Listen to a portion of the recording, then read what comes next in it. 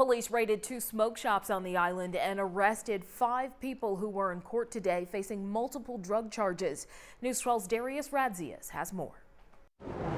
People who live around this smoke shop are relieved. Just so happy. For the last year and a half, it's been nothing but heartache. Diane DeResta, who lives nearby, says she was happy to see the doors to Smoke Spot padlocked and a violation notice from the town of Hempstead on the window.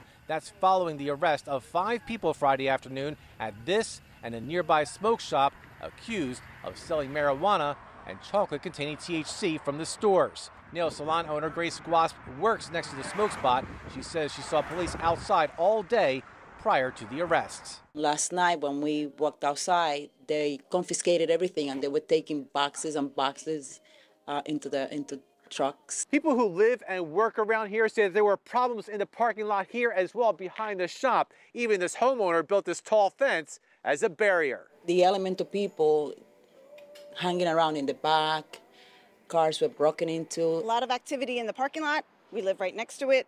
Um, there was a shooting. That happened back on March 9th, where Nassau police say a person working the counter was shot in the chest. Mr. Schweiker, I'm Darius with News 12. Can you tell me exactly what happened? You have anything to say? Do you want to talk about what happened? No. no. None of the defendants spoke to us, but Jason Russo, who's a lawyer for the two employees at Sam Smoke and Tobacco, did talk. They know nothing about what is purchased, what is sold there. They're merely very young men who are just employed to stock the shelves there. All the defendants were released by the judge without bail. At First District Court in Hempstead, Darius Radzius, News 12, Long Island. Right, thank you for that report, Darius. And we are still waiting for a response from the town of Hempstead, who shut down both of those smoke shops. As for that robbery back in March, police tell us that investigation is still ongoing.